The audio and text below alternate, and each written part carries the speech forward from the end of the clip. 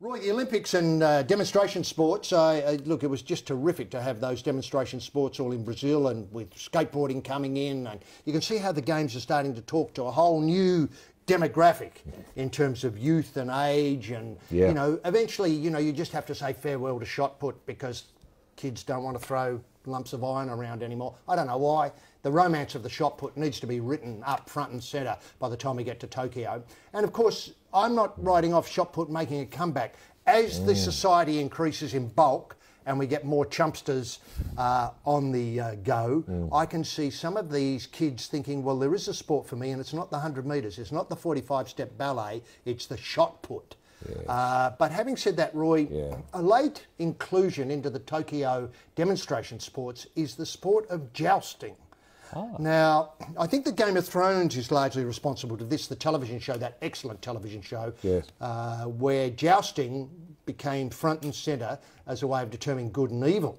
Oh, wow. But I know you're connected to the Lithgow area, and of course, Lithgow is the home of Ironfest, Australia's own jousting competition. It is, yeah. I'm just wondering if you can see Iron Yeah. And the United Kingdom Yeah. linking arms and pushing on with jousting as an Olympic sport. Well, you know, I, I, jousting has its doubters, and I was one of them. Uh, when I got the uh, invitation to go to Ironfest a number of years ago, I thought, oh, well, this is just going to be nonsense, you know. And uh, I had the greatest surprise of my life. I've never seen anything more exciting. Uh, you'll have a small rail fence uh, uh, put in, and then horses come with riders attached from either side, coming towards each other with a very long Lance. lance, And and, and the idea is to hit the other person with your lance uh, as you pass them by. Correct. It requires great skill and enormous courage. And to see the looks on those kids' faces when you saw a bloke cop a lance in the head, you know, and off he goes, bolt out, you know, the ambulance comes in, St John's people, terrific people, uh, cart them off to the hospital. Uh, Lithgow Hospital does a to- does terrific business when Ironfest is on. With medieval injuries. With medieval injuries, yeah. And some of the doctors World were scratching their heads saying, I've never seen a head like this, you know, taking photographs, posting them online and scaring a lot of people. It's a terrific thing. Yeah. You know?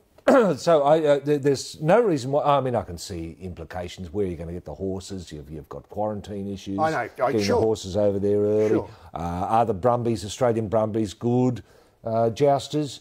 I think they are. I think they're pretty good. Right. Uh, I know your European horse, your jousting horse is a much bigger horse than the Brumby, but the, with your Brumby, you can come from underneath. Yeah, true, true, true. Now, the one big thing, though, Hmm. would would drugs been involved in some way, either for the horse and rider? Uh, well, I think you'll find in Lithgow with Ironfest that most of the people who are involved in the jousting are heavily drugged uh, because it's the sort of sport you wouldn't do if you were of clear mind, can I say. Now, you've got to be totally off your face. And usually, uh, and it's an Ironfest tradition that, uh, you know, an announcer just goes around saying, anyone want to get involved in the jousting? Anyone put your hand up? You know, Idiots. of idiots off their face. Oh, yeah, here's a go. On they get, and off they go. And, and there's no reason why you couldn't do that in an Olympic Oh, no, that's true. You know, just That's walk true. amongst the fans. You know, any Aussie fans here? Oh, yeah, yeah. Want to represent the Anyone green want to represent Australia, the green and gold? Yeah, come on, hop on, let's go. There's, we've got a Brumby here for you.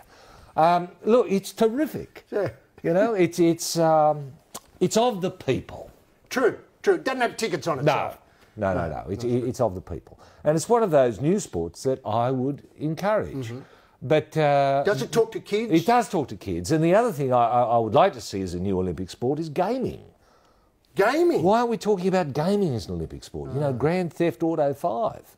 Oh, yeah, I know. I've Your been gold medal in I've Grand been- Theft Auto. I've been at the Olympic movement for years about this. Yes. We've got to get technological games in. Yes. I think texting is a great thing. Put up a page of something and so you can quickly text Yes, it. yes. Games, of course, Grand Yeah. Theft Auto, all of them have to be involved. Imagine the Olympic edition of Grand Theft Auto. I know. And people would play it for probably experts would be able to get it, knock it over a brand new one in about 15 minutes. Yes. It'd be so exciting to see them do Be it. great to watch. It would.